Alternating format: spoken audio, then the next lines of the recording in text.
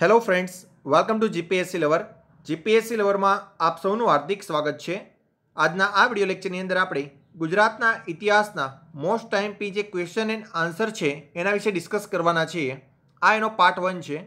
આપ જે રીતે ગુજરાતનો ઇતિહાસ સિક્વન્સ વાઇઝ વાંચો છો, એટલે કે સૌપ્રથમ પ્રાચીન ગુજરાતનો ઇતિહાસ, ત્યારબાદ મધ્યકાલીન ગુજરાતનો ઇતિહાસ અને ત્યારબાદ અર્વાચીન ગુજરાતનો ઇતિહાસ. તો એ રીતે સિક્વન્સ વાઇઝ આપણે અહીંયા ક્વેશ્ચન એન્ડ આન્સર છે, એ ડિસ્કસ કરવાના છે. સૌપ્રથમ ક્વેશ્ચન જોઈએ. ઇતિહાસ શબ્દ છે એ મૂળ કઈ ભાષા પરથી ઉતરી આવેલ છે? ઇતિહાસ શબ્દ છે એ મૂળ સંસ્કૃત ભાષા પરથી ઉતરી આવેલો છે. ઇતિહાસ શબ્દ છે એ સંસ્કૃતના કયા શબ્દ પરથી ઉતરી આવેલો છે? તો અહીંયા આપણે ઇતિહાસની જો સંધિનો વિગ્રહ કરીશું, તો અહીંયા આપણને જોવા મળશે ઇતિ, હ, વત્તા આસ. તો આ ઉપરથી કહી શકીએ કે ઇતિહાસ શબ્દ છે એ સંસ્કૃતનો એક શબ્દ છે એના પરથી ઉતરી આવેલો છે.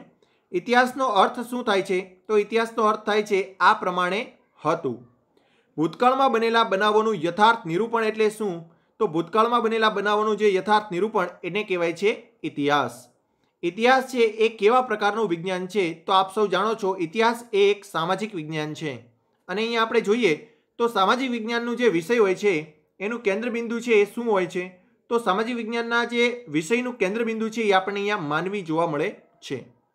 ત્યારબાદ જોઈએ તો ઇતિહાસ જાણવા માટેના જે સ્ત્રોતો છે અથવા તો આપણે બીજા શબ્દોમાં કહીએ તો અહીંયા સાધન સામગ્રી છે, એ કઈ કઈ ઉપયોગ થાય છે. તો અહીંયા આપણે યાદ રાખશું શિલાલેખો, આ ઉપરાંત તામ્રપત્રો, આ ઉપરાંત સિક્કાઓ અને યાત્રા વર્ણનોનો ઉપયોગ થાય છે. જે તે રાજાઓ દ્વારા અહીંયા શિલાલેખો કોતરવામાં આવ્યા હોય છે, એના ઉપરથી આપણને એના ઇતિહાસની જાણકારી મળે છે. આ ઉપરાંત જે તે રાજાઓ દ્વારા અહીંયા તામ્રપત્રો પણ લખાણ કરાવવામાં આવેલું હોય છે, એના પરથી પણ આપણને અહીંયા ઇતિહાસની જાણકારી મળે છે. જે તે રાજા મહારાજાના સમયમાં સિક્કાઓ બહાર પાડવામાં આવ્યા હોય છે. એના ઉપરથી આપણે એના વંશાવેલી જાણી શકાય છે. આ ઉપરાંત વિદેશી પ્રજાઓ દ્વારા અહીંયા જે યાત્રા કરેલી હોય છે અને એનું જે વર્ણન છે એને લોકોએ કરેલું હોય છે, એના પરથી પણ આપણને અહીંયા ઇતિહાસની માહિતી મળે છે. ત્યારબાદ જોઈએ તો પ્રાગ ઐતિહાસિક યુગની જે લિપિ છે એ કઈ હતી? તો આપણે અહીંયા યાદ રાખશું પ્રાગ ઐતિહાસિક કાળમાં લિપિની શોધ થઈ ન હતી. અહીંયા આપણે મિત્રો ત્રણ કાળ યાદ રાખવાના છે. એક છે પ્રાગ ઐતિહાસિક કાળ એક છે આદ્ય ઐતિહાસિક કાળ અને એક છે ઐતિહાસિક કાળ. તો જે સૌપ્રથમ આવે છે પ્રાગ ઐતિહાસિક કાળ, કે જેમાં લિપિની શોધ થઈ ન હતી. ત્યારબાદ બીજો કાળ આવે છે જેને આપણે કહીએ છીએ આદ્ય ઐતિહાસિક કાળ.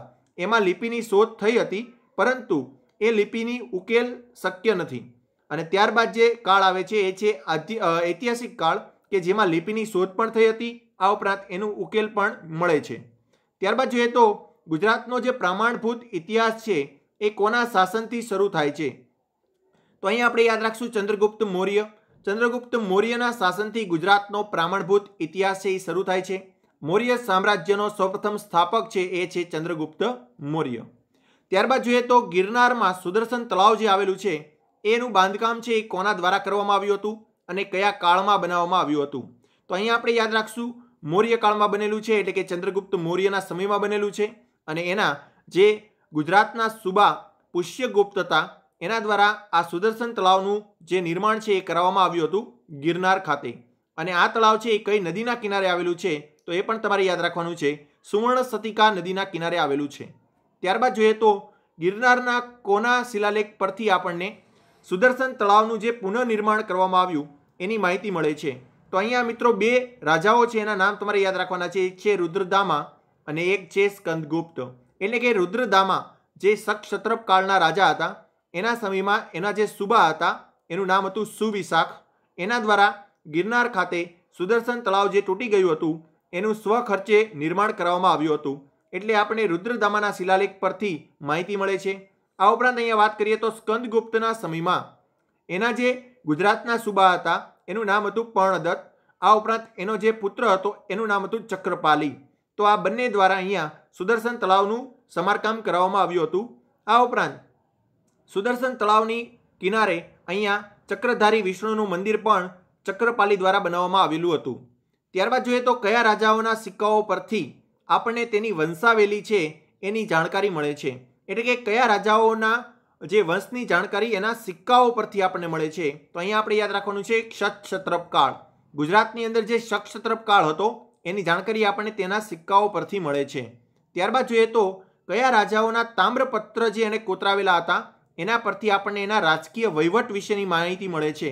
તો અહીંયા આપણે યાદ રાખશું મૈત્રક વંશ આ ઉપરાંત સોલંકી વંશના જે રાજકીય વહીવટ ચાલતો હતો, તેની માહિતી આપણને ક્યાંથી મળે છે? તો કે તામ્રપત્ર પરથી મળે છે. દ્રયાશ્રય નામનો જે ગ્રંથ છે એને કોના દ્વારા લખવામાં આવેલો હતો? તો અહીંયા આપણે યાદ રાખશું હેમચંદ્રાચાર્ય દ્વારા કે જેઓ સોલંકી કાળના એક મહત્તમ કવિ થઈ ગયા છે. એના દ્વારા અહીંયા દ્રયાશ્રય નામનો ગ્રંથ છે એ લખવામાં આવ્યો હતો. હેમચંદ્રાચાર્યનું જે વ્યાકરણના નિયમોને ઉદાહરણ સહિત નિરૂપણ કરતો જે મહાકાવ્ય રચવામાં આવ્યું હતું, એ કયું હતું? તો અહીંયા આપણે યાદ રાખશું દ્રયાશ્રય. દ્રયાશ્રય છે એક મહાકાવ્ય છે કે જેમાં વ્યાકરણના જે નિયમો છે એને ઉદાહરણ સાથે સમજાવવામાં આવેલા છે. અને આના લેખક કોણ છે? તો એ આપણે અહીંયા યાદ રાખશું હેમચંદ્રાચાર્ય, જેનું બાળપણનું નામ હતું ચાંગદેવ. ત્યારબાદ આગળ જોઈએ તો કાર્તિક કૌમુદી નામની જે રચના છે, એના લેખક કોણ છે? તો અહીંયા જવાબ આવશે સોમેશ્વર. કાર્તિક કોમેડી ની જે રચના છે, એના લેખક છે સોમેશ્વર. આ, ત્યારબાદ જોઈએ તો વસંત વિજયના રચયિતા કોણ છે? વસંત વિજયના રચયિતા છે બાલચંદ્ર સુરી વસંત વિજયના રચયિતા છે બાલચંદ્ર સુરી મોહરાજ પરાજય નામનો જે ગ્રંથ છે, મોહરાજ પરાજય નામનો ગ્રંથ, એના રચયિતા છે યશપાલ. આ ઉપરાંત જોઈએ તો કુમારપાલ પ્રતિબોધ. કુમારપાલ પ્રતિબોધ નામનું જે રચયિતા છે, એ છે સોમપ્રભા સુરી સોમપ્રભા સુરી દ્વારા અહીંયા કુમારપાલ પ્રતિબોધ નામનો ગ્રંથ છે, એ રચવામાં આવેલો હતો. હિન્દીમાં એક પદ્ય છે, રત્નમાલા.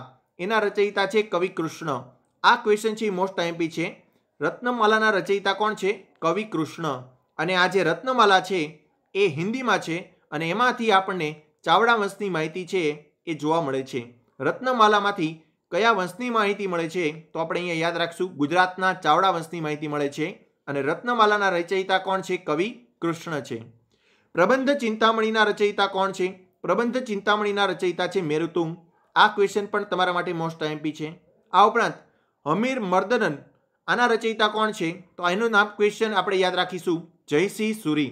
જયસિંહ સુરી દ્વારા હમીર મદ મર્દનન નામનું જે નાટક છે એ અહીંયા લખવામાં આવેલું હતું. ત્યારબાદ જોઈએ તો વિચાર શ્રેણી વિચાર શ્રેણી કોના દ્વારા લિખિત છે? તો વિચાર શ્રેણી છે એ રાજશેખર દ્વારા લિખિત છે. ચીની યાત્રાળુની અહીંયા વાત કરવામાં આવી છે યુએન સાંગની.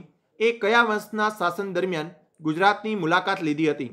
તો ચીની યાત્રાળુ આવ્યો હતો હ્યુએન સાંગ કે જે ભારતમાં આવ્યા હતા ત્યારે ભારતમાં શાસન હતું હર્ષવર્ધનનું. અને ગુજરાતમાં એણે મુલાકાત લીધી ત્યારે ગુજરાતની અંદર અહીંયા મૈત્રક વંશનું શાસન હતું. આ ઉપરાંત અહીંયા જો આપણે વાત કરીએ તો મૈત્રક વંશમાં ધ્રુવસેન બીજાનું અહીંયા શાસન હતું. મૈત્રક વંશની જે રાજધાની છે, એ છે વલભી. ત્યારબાદ જોઈએ તો યુએન સાંગ છે, એના દ્વારા રચવામાં આવેલો જે ગ્રંથ છે, એનું નામ શું છે? તો અહીંયા આપણે યાદ રાખશું, સિયુકી નામનો જે ગ્રંથ છે, એ યુએન સાંગ દ્વારા રચવામાં આવેલો હતો. માનવીએ લખવાની કળા હસ્તગત નહોતી કરી, એ યુગ કયો? એટલે કે કયા યુગમાં લિપિ છે, એનો ઉલ્લેખ થયો નહોતો, એટલે કે એ અસ્તિત્વમાં આવી ન હતી. એ યુગને કહીએ છીએ આપણે પ્રાગ ઐતિહાસિક યુગ. તો અહીંયા મિત્રો, ફરી વખત જણાવી દઉં તમને, ટોટલ ત્રણ યુગ તમારે યાદ રાખવાના છે.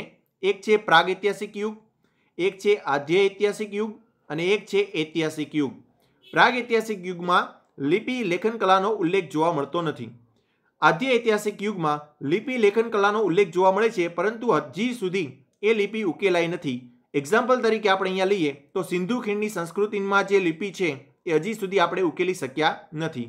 અને ત્યારબાદ જે ત્રીજી યુગ આવે છે, એ છે ઐતિહાસિક યુગ, કે જેની લિપિ છે એ આપણે ઉકેલી શક્યા છીએ.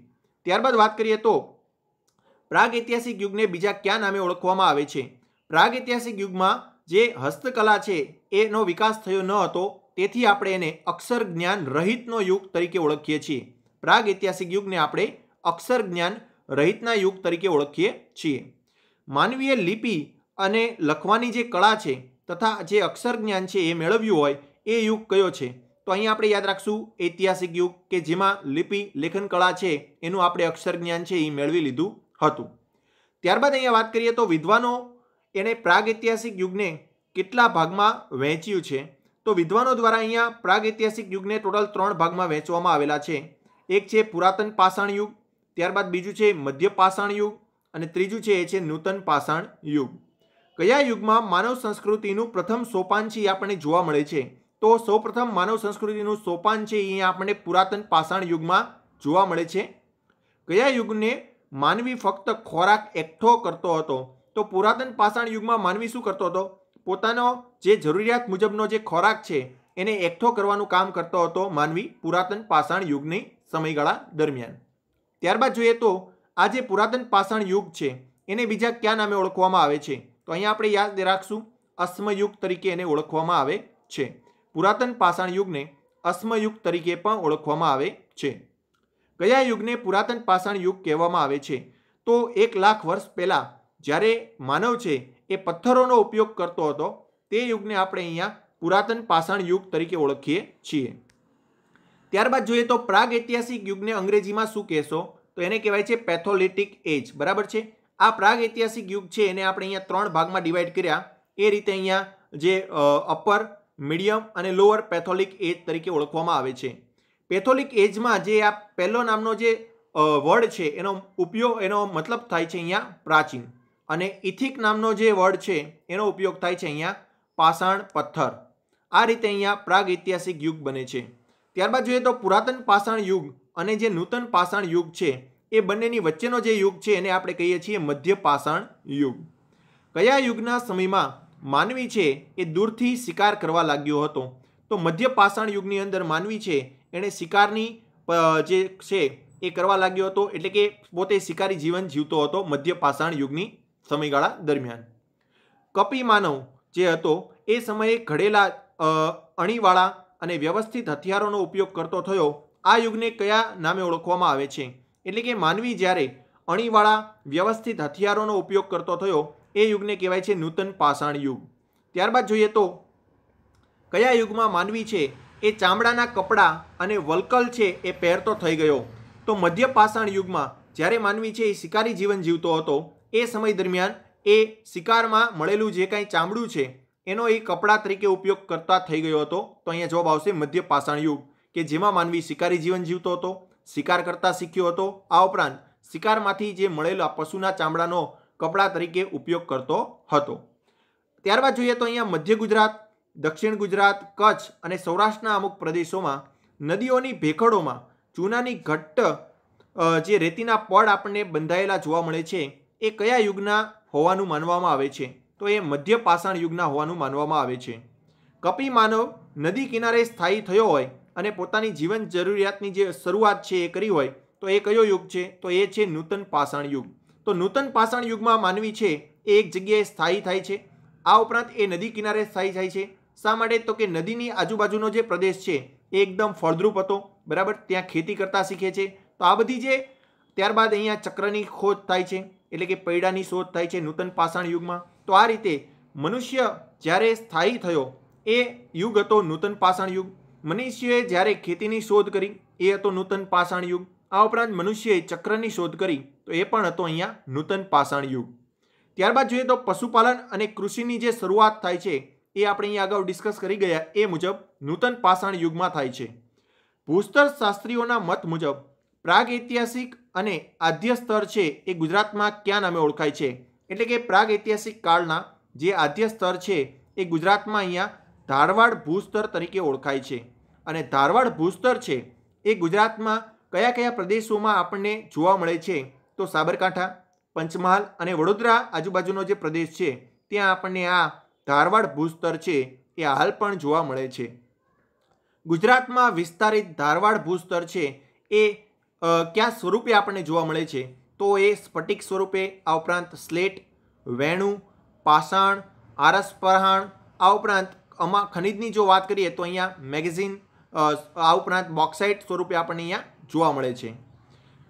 આદ્ય યુગમાં જીવસૃષ્ટિની ઉત્પત્તિ થઈ ન હતી, તે સમય છે એ કયા યુગ તરીકે ઓળખાય છે? એટલે કે જ્યારે માનવીની ઉત્પત્તિ ન થઈ હતી, જીવસૃષ્ટિ અસ્તિત્વમાં ન હતી, એ યુગને અહીંયા અજીવમય યુગ તરીકે ઓળખવામાં આવે છે. અને અહીંયા આદ્ય યુગ જે જીવસૃષ્ટિનો ઉપયોગ શરૂઆત જ નથી થઈ, એ યુગને ભૂશાસ્ત્રીઓ છે એ બીજા ચાર ભાગમાં વેચે છે. એટલે કે આ અજીવમય યુગને પણ ભૂશાસ્ત્રીઓ ચાર ભાગમાં વેચે છે.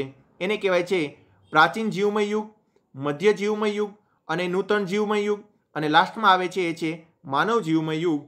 આ માનવ જીવમય યુગ દરમિયાન માનવી છે એ અસ્તિત્વ ધરાવે છે. તો આ રીતે મિત્રો, અહીંયા આપણે એકથી પચાસ ક્વેશ્ચન છે. એને પહેલા લેક્ચરની અંદર આપણે અહીંયા ડિસ્કસ કર્યા છે પાર્ટ વનની અંદર. ત્યારબાદ આપણે આ સિરીઝને કન્ટિન્યુ કરીશું અને ધીમે ધીમે સિક્વન્સ વાઇઝ આપણે ઇતિહાસને છે એ આગળ વધારીશું. અને અંતે પંદરસોથી બે હજાર ક્વેશ્ચનના અંતે તમારો ઇતિહાસ છે એ સંપૂર્ણ કવર થઈ જશે. Thank you thank you so much